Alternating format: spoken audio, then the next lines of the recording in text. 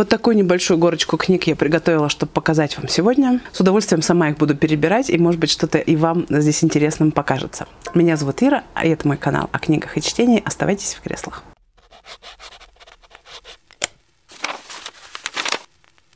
Начну с детектива Бенджамина Стивенсона «Каждый в, наш, в нашей семье кого-нибудь доубил».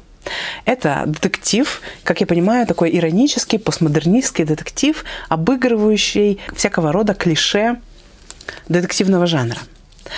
А, Бенджамин Стивенсон австралиец, как я поняла, но во всяком случае действие здесь разворачивается в Австралии на горнолыжном курорте, где происходит воссоединение большой а, семьи и происходит убийство, и мы с этой семьей знакомимся посредством главного героя. Посмотрите, здесь так написано «Загни здесь», «Согни здесь».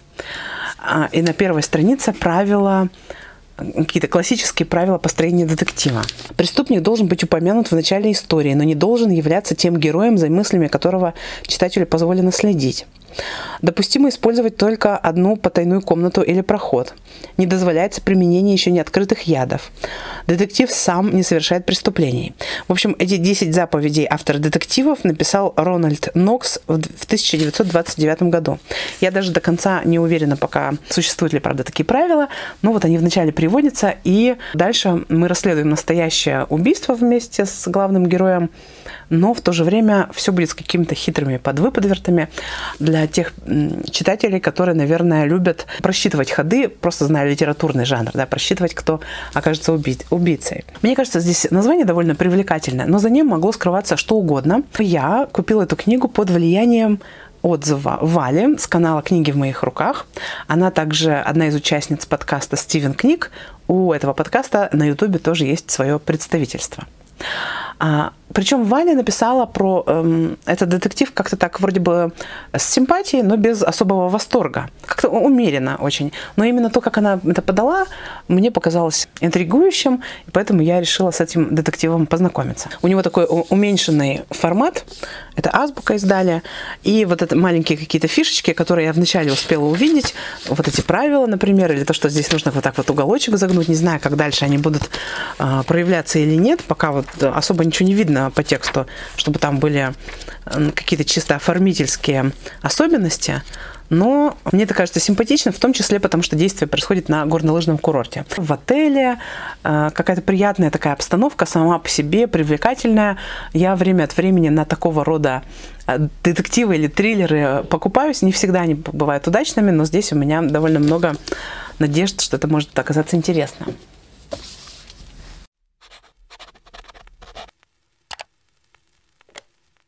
Дальше книга Хальдгрима Хельгасона «60 килограммов солнечного света». Это э, линия Нордбук, скандинавская линия у а, издательства «Городец». Я эту книгу получила в подарок от Татьяны в а, посылке, которую она мне прислала. Я знаю, что эта книга многим на YouTube понравилась. А, и, в частности, э, Снежана, мне кажется, хорошая про нее говорила. На канале Снежон Букс она, как известно, увлекается всем скандинавским. Я так понимаю, что действие этого романа разворачивается где-то в начале 20 века в небольшом исландском местечке, где люди перебиваются с хлеба на воду, как постоянно в борьбе за жизнь существует. Почему-то, мне кажется, что 60 килограммов солнечного света как-то связано с селедкой.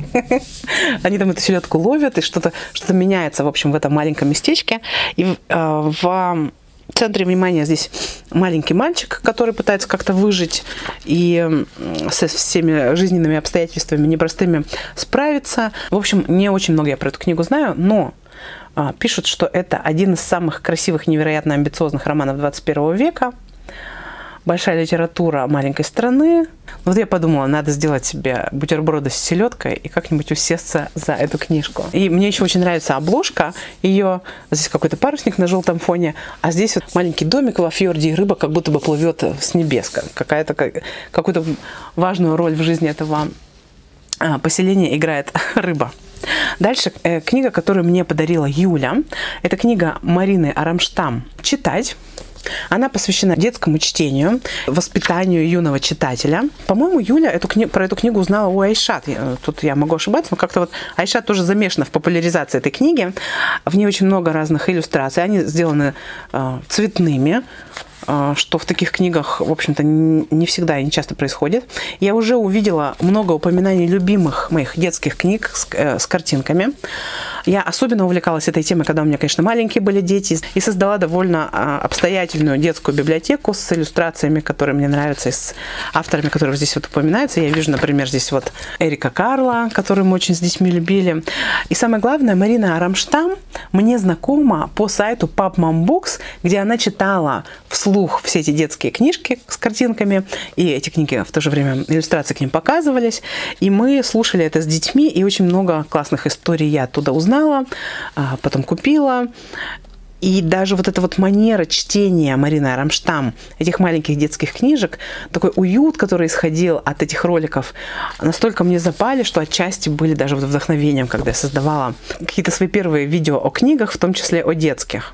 Ну и здесь как-то вот исследуется малышовое чтение, да, как ребенок начинает знакомиться с книгами, что его может увлекать, как родители могут а, поспособствовать этому ну, увлечению ребенка книгами. Характерно, что книга эта издана в Минске в 2018 году, издательство «Дискурс». А, мне она кажется очень привлекательной. Она небольшая, но очень емкая, наполненная какими-то такими очень завлекательными деталями. Я, когда ее листаю, снова погружаюсь в то время, когда я детскую библиотеку формировала, я во многом ведь ее формировала не только для своих детей, но и для себя. Я начала с того, что покупала э, книги, которые в детстве мне нравились, но у меня не было к ним доступа, иллюстрированные какие-то замечательные издания. А когда в эту тему втянулась, увидела, как много нового и красивого издается, и стала вот настоящим фанатом этой темы. Поэтому, когда я от Юли эту книгу получила, я очень обрадовалась новому соприкосновению с приятной мне темой. Дальше снова желтенькая книжка. Это Рэйчел Джойс и ее невероятное паломничество Гарольда Фрая. Книга издана Инспирией у нас, и у нее есть аудиоверсия. Она рассказывает про человека, который недавно вышел на пенсию, он живет в Англии, и прожил такую среднестатистическую благополучную жизнь, но настолько автоматически он ее прожил, настолько он в отрыве, судя по всему, был со своими истинными желаниями и потребностями, что ему как будто бы вспомнить нечего, какая-то вот блеклая картина образуется, когда он начинает вспоминать свою жизнь. А вспоминает он ее в пешем путешествии, которое он решил предпринять через всю Англию, навстречу к своей давней знакомой, с которой они 20 лет не виделись, которая сейчас умирает от рака, и вот он как-то уверовал в то, что его вот это паломничество поможет ей выжить. А так это или нет, я не знаю. И, возможно, даже это и не важно, потому что пока Гарольд Фрай идет по Англии, сбивая ноги, он совершенно не подготовился, это было спонтанно. Он вышел из дома, и приключение началось. Он еще даже не знал о том, что оно началось, а уже путешествие э, стартовало. Гарольд Фрай как будто бы двигается навстречу себе. Он двигается по тропинкам памяти, исследуя свою жизнь. Он вспоминает какие-то вещи, какие-то ситуации, в которых он ну, недостаточно проявил себя, что ли, а может быть, ему хотелось бы.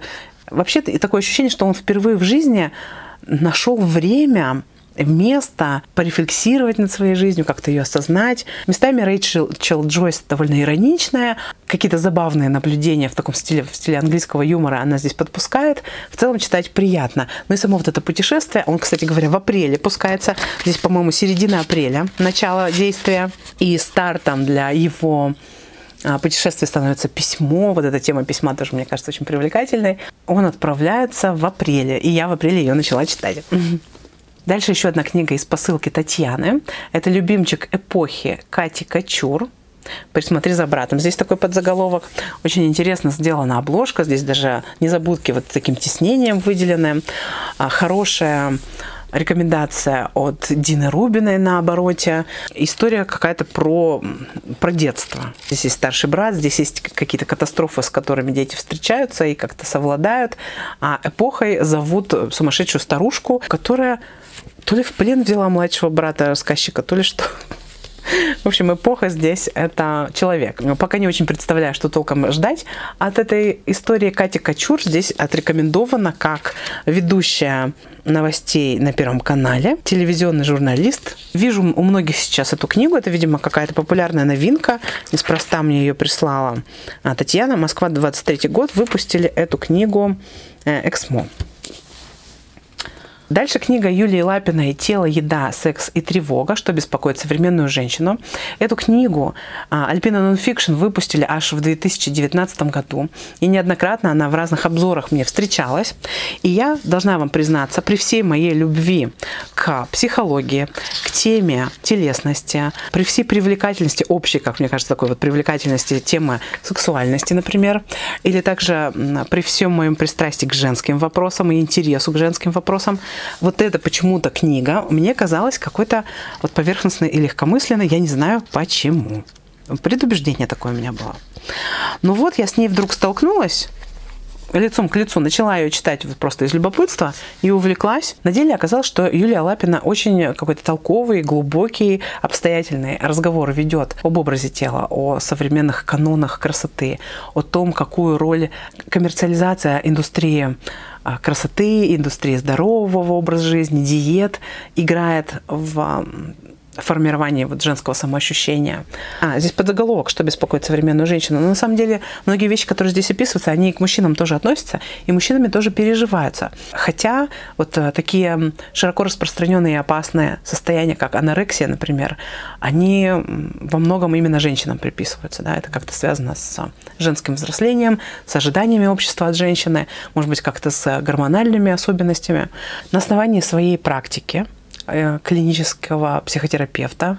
На основании исследований зарубежных ученых Юлия Лапина рассматривает вот эту траекторию формирования мучительной и всеохватной ненависти, нелюбви к своему телу, которая влияет на повседневную жизнь, на все повседневные практики, да, на удовлетворенность жизнью, на нашу способность достигать счастья и так далее. Пока, сколько я успела с этой книгой познакомиться, очень хорошее у меня от нее впечатление. И, как я вам уже показала, здесь есть картины а, Кустодиева, которые которые иллюстрируют а, каждую новую главу. Это дополнительное напоминание о том, насколько ну, эфемерные и искусственные любые стандарты красоты, потому что ну, женщины, которые здесь как красавицы представлены, в разные эпохи могут считаться как э, распрекрасными самыми красавицами, желанными и манящими, так и ну, какими-то непростительными образцами распущенности, например. И вот это, да, корреляция между формой тела и какими-то личностными достоинствами человека, это тоже одна из проблем, которую Юлия Лапина рассматривает, пытаясь доказать, что э, вот эта связь, она искусственная, но при этом такая порой мучительная для людей, да, и рушащая жизни, и провоцирующая серьезные заболевания, в том числе ведущие к просто физической гибели человека. Дальше книга, от э, покупки которой я не удержалась просто из любопытства. Она называется «Время жить, а не убираться». Я, конечно, очень, мне кажется, очень спорным названием «убираться», ну ладно. «Чистота и порядок э, за 15 минут в день». Кассандра А. Арсон, э, автор этой книги. В ней много картинок, я так воспринимаю, что это какой-то очередной извод Марии Кондо, но я когда-то читала Марии Кондо, и она меня даже вдохновила на что-то. Тоже вот я немножко эту книгу начала читать.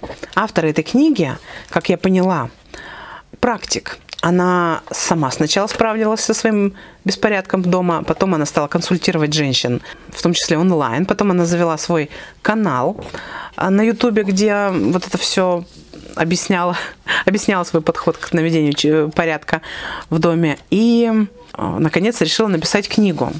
И в самом начале этой книги она классифицирует людей как-то вот по темпераментам, по э, особенностям акцентуации характера, предлагая каждому из этих типов свои стратегии наведения порядка. Мне показалось, что это довольно-таки э, такая проницательная идея, потому что во всех вот этих вот э, системах тайм-менеджмента или просто какого-то внутреннего менеджмента, которые мне встречались, не берется в расчет особенности каждого отдельного человека. Просто создатель этой системы ориентируется на себя, он открывает что-то для себя и эту систему публикует, как бы экстраполируя ее на всю э, аудиторию, на всех людей. Однако люди бывают разные, то, что сработало на одном, может не сработать на другом, но на другом может сработать что-то еще. И вот здорово, что это Кассандра Арсон как раз пытается разные стратегии для наведения порядка предложить. И несмотря на то, что сто пятьсот раз я убеждалась, и нас всех э, это пытаются убедить умные люди, да, что вот эти все слоганы, что чистота и порядок за 15 минут в день, это всего лишь кликбейт, так называемый, или попытка вот привлечь к покупке какого-то обучающего материала, да, что ничто не бывает, ничто так просто не дается на самом деле, за всем что стоит какой-то большой труд. Но э, иногда бывает так приятно поверить в то, что что-то можно сделать за 15 минут очень, очень легко. По крайней мере, прикоснуться к этой мечте, как-то ее попробовать. Ну и тут такая э, картинка симпатичная на обложке. Ну, посмотрим. Дальше покажу две книги Харуки Мураками. У меня весной сделался такой э, азиатский читательский запой, в том числе Мураками. Я стала сначала рассказы слушать, потом стала слушать хроники заводной птицы, потом переслушивать охоту на овец. И хотя у меня есть вот такое вот издание «Охота на овец» от Эксмо, они переиздавали недавно ну, 20, 2020 э, год. Все три книги трилогии «Крысы» мне подарила Лена Ша вот в таком вот э, как раз исполнении. Это Евро Покет с такой вот клапаном отодвигающимся. Хорошее издание, и у него такая обложка лаконичная, но с каким-то вот таким намеком на японское тоже вот такое лаконичное, символичное искусство, почти иероглифичное, да. Но когда я увидела вот это издание старенькое, тоже от Эксмо, я не смогла пройти мимо. Здесь такая замечательная овца. Это аж в 2007 году была выпущена книга, и у меня есть, э, по-моему, «Кавка на пляже», тоже вот из этой серии. Это примерно та эпоха, когда я знакомилась с Харуки Мураками впервые. Впервые читала «Охоту на овец». Там, конечно, еще раньше были другие издания. Амфора, по-моему, выпускал тогда когда я впервые читала. Но вот это тоже из какого-то, из какой-то вот моей э, юности, молодости обложки. И овца это меня совершенно покорило. Я подумала, что ну это просто вот чисто за обложку купить милое дело. Так что у меня теперь две охоты на овец. Еще, послушав два сборника рассказов Харуки Мураками, я купила еще один сборник рассказов. Здесь меня заинтересовал конкретно рассказ а, «Сядь за руль моей машины», по которому сняли фильм. Ой, тут даже нет такого. А, да, Drive My Car. Влюбленный Замза здесь есть. Мужчины без женщин. Э, это как бы как раз серия, в которую входит Drive My Car. Ну, я не могу сказать, что как-то мне особенно вот это издание нравится. Мне кажется, чем-то оно вот по настроению, по лаконичности похоже на эту более позднюю серию, хотя здесь, по крайней мере, с цветом а, поигрались. Тоже это Эксмо выпустили. Я была поражена тем, сколько рассказов э, и вообще произведений Харуки Мураками были экранизированы, а также тем, что экранизированы-то они не то чтобы как-то, ну как-то очень нишево они в экранизациях выглядят. Я посмотрела «Слушай песню ветра», фильм старенький, такой 80-х годов, посмотрела экранизацию рассказа про серфера Бухта Ханалей, начала смотреть «Сядь за руль моей машины», но решила сначала ее, э, этот рассказ прочитать, а потом уже смотреть экранизацию. Дальше подцепила здесь сборник рассказов Рэй Брэдбери, заголовок «У нас всегда будет Париж» меня привлек и Эйфелева башня на обложке. На самом деле только один рассказ здесь каким-то образом с Парижем связан, а это просто сборник рассказов. Я вообще долгие годы рассказы не читала. В детстве я обожала рассказы, это был мой любимый формат. Я просто за поем читала и искала именно сборников рассказов. А потом меня как отшибло, мне стало совершенно неинтересно эта малая форма. А в прошлом году, вот к концу года, я как-то пристрастилась к маленьким рассказам, и они стали ко мне вот приходить, что я Мураками купила, купила Брэдбери. Ну, Брэдбери я люблю, как раз именно в рассказах его люблю. И начинала знакомство с ним именно с малой формы. Поэтому мне любопытно, по крайней мере, что он про Париж написал. Посмотрим, как дело пойдет. В общем, есть у меня еще идея делать такой книжный клуб, в котором рассказы бы мы разбирали. Поэтому тоже я так себе немножко материал набираю. Дальше Патриция Хайсмит «Незнакомцы в поезде». На Патрицию Хайсмит я обратила внимание, потому что посмотрела фильм Вима Вендерса «Идеальный идеальные дни. Действие этого фильма происходит в Токио, и вот эта японская тема тоже завязалась как-то у меня с тем, что, а, что я читаю сейчас, что смотрю. И там главный герой а, берет книжки в каком-то, мне кажется, букинистическом магазине все время. В неделю вот он одну маленькую книжечку берет и там ее читает. У него есть такой ритуал вечернего чтения. И однажды он приходит и берет Патрицию Хайсмит 11 историй. Они не переведены у нас, как я поняла. Я стала смотреть, что у нас переведено этой писательнице из-за того, что владелица книжного магазина магазина в ответ на вот такой выбор э, главного героя говорит, о, Патриция Хайсмит, она научила меня как-то лучше понимать свою тревогу, что-то такое. И из-за этого Патриция Хайсмит обрела в моих глазах какой-то а, такой флер а, интеллекту, высокоинтеллектуальной какой-то экзистенциальной прозы. А потом оказалось, что Патриция Хайсмит – это и есть писательница, которая написала «Мистера Рипли», я прочитала мистера Рипли, как-то вот в прочитанном недавно про это рассказывала, и искала, что еще издано у Патриции Хайсмит, раз нет вот этих 11 историй, и увидела незнакомцев в поезде. Тут сыграла моя, просто мой триггер, потому что я люблю поезд. А это что-то вроде детектива оказалось, как я поняла. Я еще совсем вот буквально там первую главу начала читать. Это какой-то старомодный детектив американский. Из Нью-Йорка едет человек. В общем, я пока ничего про него не знаю. Вот купила по таким совершенно странным а, причинам эту книгу. Вот иногда бывает, что ты соприкасаешься с каким-то произведением, в данном случае с фильмом, да, и настолько хочется в эту атмосферу проникнуть, как-то глубже узнать о жизни героя, о том, что он там переживает, что хочется почитать книжку, которую он читает, и ты начинаешь искать каких-то связей, и потом выбираешь ту книжку, которая с поездами связана, ночными. Почему ночными? А, на картинке, потому что ночной поезд. Потому что в прошлом году я так эм, с пристрастием читала все такое про ночные поезда. Короче, странными путями иногда книги приходят. Дальше, посмотрите, эта книга еще в пленке. Я ее купила на Wildberries, когда э, там были какие-то супер скидки.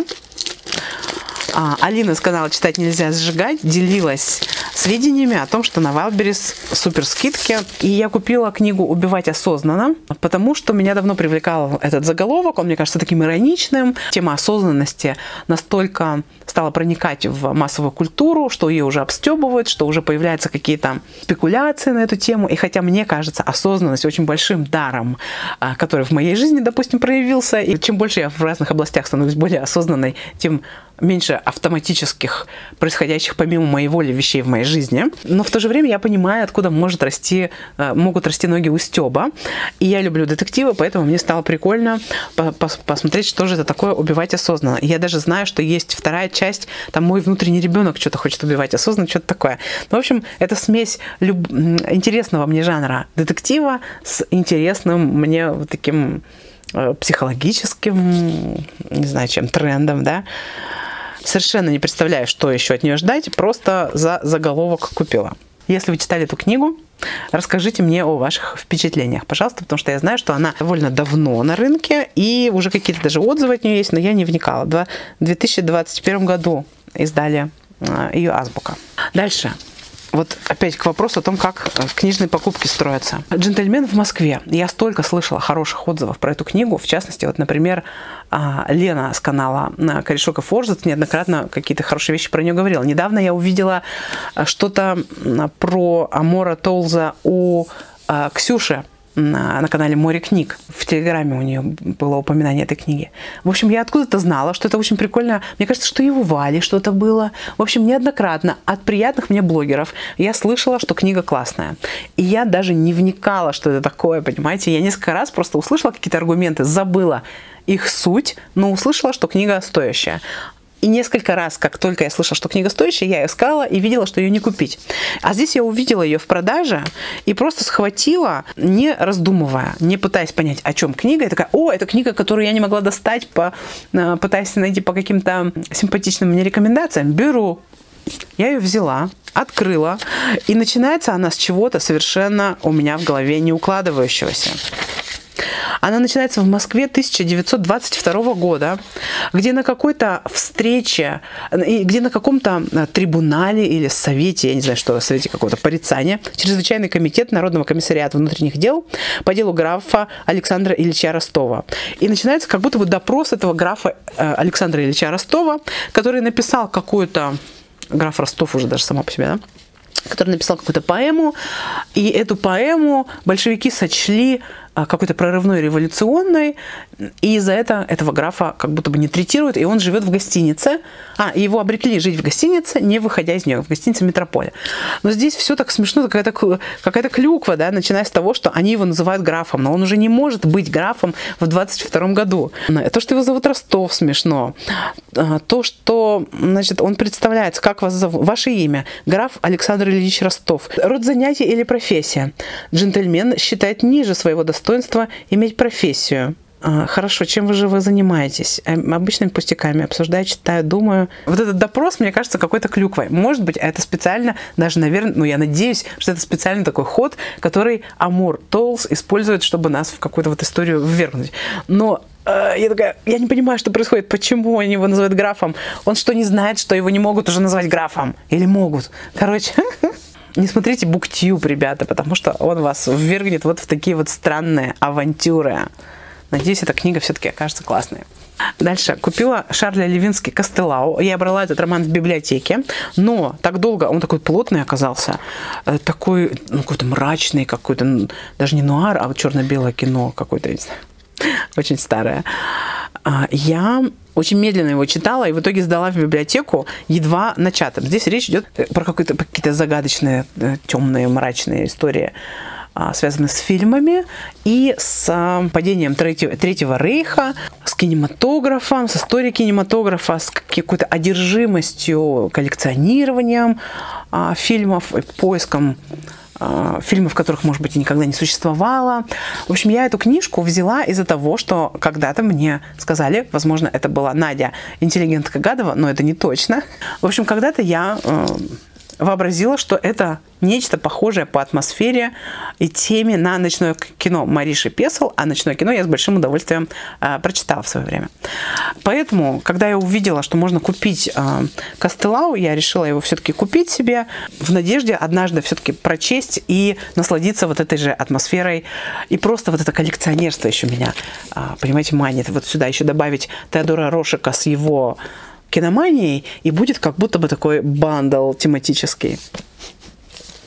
Это чистое коллекционерство, конечно, чистое потребительство. И я не исключаю, что Мариша Песел останется единственным приятным мне а, представителем вот этого маленькой этой подборки. Ну ладно, в общем, Шарль Левинский у меня теперь тоже есть. А, ну и, кстати, какой-то вот надежда на то, что это будет что-то такое интересное, мне внушает то, что эту книгу выпустили издательство Ивана Лимбаха. Они у меня ассоциируются с какой-то такой вот интеллектуальной литературой, с чем-то таким изысканным и достойным внимания. Видимо, я себя представляла тем человеком, который такие книги читает, понимает, любит и ценит. Ну, проверим. Купила себе Салли Руни «Нормальные люди». Я эту книгу а, читала в электронке и слушала в аудио. Кстати говоря, отличный подход для этой книги, потому что Салли Руни здесь не употребляет разбивок на прямую речь, и глазами может поначалу тяжело это читать. Но поскольку я большую часть слушала, я как-то прониклась очень. Мне понравилось, как а, Салли Руни пишет. И я подумала, что при случае эту книгу себе заимею. А недавно я прочитала, опять же, в электронке ее книгу про прекрасные счастливые дни, что-то такое, да, и поняла, что нормальные люди оставили все-таки мне такое ощущение книги, к которой я бы хотела вернуться. Я решила себе заиметь в такой вот красивой обложечке она подходит к этим всем вот моим ребятам. Это какая-то история современной любви, современных неврозов, современной инфантильности взрослых. Короче, мне кажется, что она какой-то в Салли Руни удается какой-то вот нерв э, нашего времени улавливать и передавать при том, что она описывает поколение моложе меня э, и вообще из другой страны, да, из, друг, из других как будто бы каких-то реалий, но все-таки э, вот это сочетание какого-то модернистского подхода к тексту и современного очень э, восприятия ну, счастья, отношений, ответственности за свои эмоции или э, ну, каких-то травм детских, которые нас на всю жизнь погружают в бесконечное это колесо мучений, повторяющихся. Все это мне в Солеруне как-то слышится, видится и импонирует. Дальше еще одна покупочка увесистая. А, спасибо за нее Альбине с канала в Мюршеф текст, который рекламировала неоднократно, неоднократно Гармингаста. И поэтому, когда я увидела а, на распродаже библиотеки у своего знакомого а, этот трехтомничек, это старое издание достаточно, а, симпозиум 2004 год, я купила в ожидании увлекательного мрачноватого осеннего фэнтези с каким-то замком, и черт знает, что еще от этого ожидать. Но вот у меня прочно эта трилогия ассоциируется с Альбиной и с осенним чтением. Вот я себе заготовила на осень. Дальше хочу показать такое красивое издание, эрмитажное, А, это издательство Эрмитажа. Это замечательная, красивая открыточка, которую мне дали в подарок к этой книге. Это прям вот дизайнерское такое издание. Называется «Хлебников заяц». Книга рифм. Здесь у нее такой картон как будто бы, ну, технически, да, для переплета. Обычно он его прячет под обложкой, а здесь он наклеен прям вот такой на тканевый корешок. А, у него уменьшенный а, такой горизонтальный формат. И здесь а, к поэзии Хлебникова присовокупляются картинки с разными зайцами, с гравюр, живописи, ну, вот картин эм, разных стран и народов, европейские, вот японские тут иллюстрации к манускриптам, самые разные зайцы и что-то посвященное творчеству Хлебникова. Мне очень нравится, как Эрмитаж, давайте посмотрим, как правильно называется, это арка, да, как они издают свои книги, потому что они всегда очень красивые, и они соединяют в то же время изобразительное искусство с литературой, и это как-то всегда напоминает такой поход в музей, там, где в место, где разные музы соединяются и доставляют тебе всяческое эстетическое удовольствие, и в то же время просвещают каким-то образом, приглашая в новый прекрасный мир. Это все очень привлекательно, мне кажется. Вот голландский натюрморт с мертвым зайцем, например. Ну и Хлебников, он же прекрасен в своем этом словоизобретательстве. И я надеюсь тут его найти. Хотя вот все, что я вижу, это описание картинок. Жестяной подсказчик, прок, золотое перо и с куревом ящик. Одетый в белый пух, сей мученик людей кровавого столетия, ушей лопух. Опутан нетью, свисает плетью. Перо писателя из заячьей России, бежавшей из окопа и пушечного жерла, из заячьей чернильницы, чье горло перекушено, сейчас сломается, столетием волком, столетием мамайцем подымается. Стихотворение 22 года, одно из последних в творчестве Хлебникова. Дальше покажу вам волшебную книгу, которая меня перебрасывает не просто в мое детство, а в какую-то золотую мечту моего детства, не совершившуюся, с которой я не встретилась толком. Такая книга была у моей подруги. Я брала у нее почитать, и это была книга, с которой я впервые познакомилась с мумитролями. Она называется «Сказочные повести скандинавских писателей». И в нее входят, помимо... Вот я запомнила ее только по мумитролям, а здесь довольно обширная коллекция всех этих историй. А, Тови Янсен. Мумитроли комета, шляпа волшебника здесь есть. Волшебная зима. Ну, еще здесь есть, например, Ян Экхельм, э, Тута Карлсон, первая и единственная, Людвиг XIV и другие, про лисят и цыплят. Тоже мне в детстве эта очень книга нравилась. У меня даже она была с теми же иллюстрациями, что здесь. Кроме того, здесь есть Синкин Хоп «Волшебный мелок». Когда я эту книгу брала у подруги, и а, правда этот волшебный мелок читала, я просто чувствовала вот эту магию книги, вот это волшебство потрясающее. Когда вот реальность и сказка соприкасаются и выходят, когда сказка выходит из книги буквально в реальность. Потому что здесь, например, вот следы какие-то, герои, это ведьма оставила следы, их здесь нарисовали.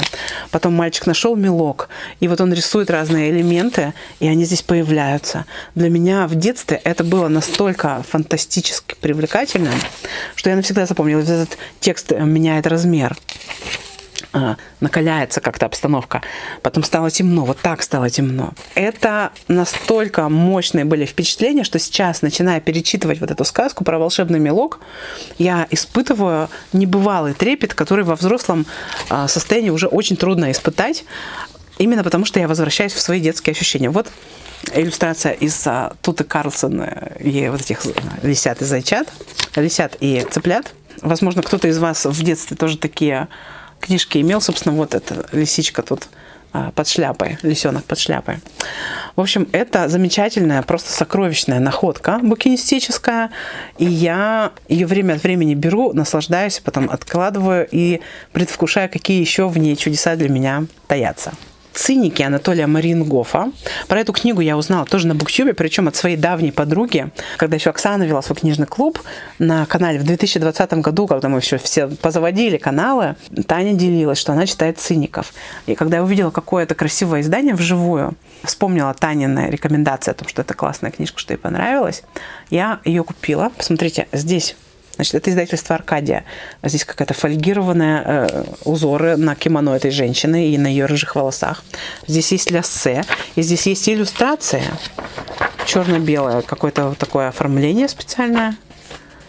И снова сработало вот это ощущение, что кто-то симпатично мне книгу читал, хвалил, и я ее вижу, и моя рука тянется, и я ее покупаю минимально зная о том, что происходит. Здесь какой-то декаданс, 18 год, люди каким-то образом а, выживают в Москве при всех событиях а, катастрофических, разрушительных и всяких катаклизмах социальных. Начинается в 18 году, а дальше здесь уже да, до 28 даже написано. И недавно в апрельском фоточеллендже, который я провожу, э, провожу в Телеграме, Лера Дейзи с канала э, «Любовный исторический роман», сейчас вот она его не ведет почти, но тем не менее, она сказала, что она сейчас как раз читает «Циников», я думаю, ну надо же, а я как раз их вот купила недавно. Э, такая синхронизация, надо поскорее прочитать, чтобы поделиться друг с другом впечатлениями. Дальше покажу вам «Возвращение» Блейка Крауча. Это тоже привет из 2020 года, когда я только завела канал, и про эту книжку очень хорошо рассказывал Дима с канала Каджит. А, это фантастика, и Блейк Крауч мне нравится со времен этих затерянных сосен. Вот мне сериал особенно по ним понравился. И здесь фантастика, связанная с парадоксами путешествий во времени.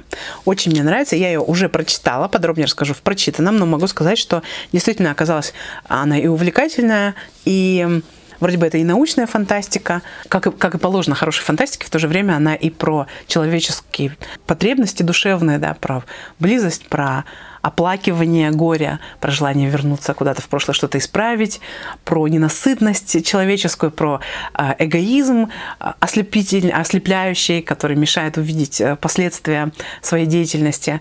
Вот это, про это все. Очень меня вдохновил Блейк Крауч, вот эта книжка, на ревизию всех других моих любимых а, произведений про путешествия во времени. Я вспомнила о том, как я люблю эту тему, и это было такое вот приятное возвращение как раз к теме путешествие во времени. И, наконец, «Мечтатели Бродвея. Ужин с Кэрри Грантом». И эта книга у меня ассоциируется тоже с Леной из канала «Корешок и Форзац», потому что когда-то я ей на день рождения а, два тома этих присылала. Здесь как-то нью-йоркская тема меня подкупила, у меня какое-то было нью-йоркское настроение, и я решила с ней познакомиться, а, тем более, что очень хорошие отзывы были и у Лены, и, мне кажется, вот у Юли на канале Scrapbook Home тоже. А, это Нью-Йорк послевоенный, конец 40-х, начало 50-х, какие-то бродвейские такие вайбы привлекательные. Единственное, что меня в этой книге смущает, если мне понравится первый том, придется и второй тоже покупать. Но я вот как-то себя удержала от, от того, чтобы и второй купить. При том, что великолепная атмосфера, вот портрет Нью-Йорка у меня лежит начатый в книге «Большая маленькая жизнь». Но вот скажите, пожалуйста, а, если перед вами лежит Хани Янагихара с ее сжимающей сердце историей и мечтатели Бродвея, что вы возьмете? Я вот тот человек, который склонен взять что полегче, повеселее. Это все мои новые книги, покупки и подарки к этому часу. Рассказывайте, какие из этих книг вы уже читали, что вам больше всего полюбилось, а что бы вы хотели обсудить в первую очередь. Встретимся с вами в разделе комментариев и в новых видео. На канале оставайтесь в креслах. Меня зовут Ира. Приятного вам вечера и пока.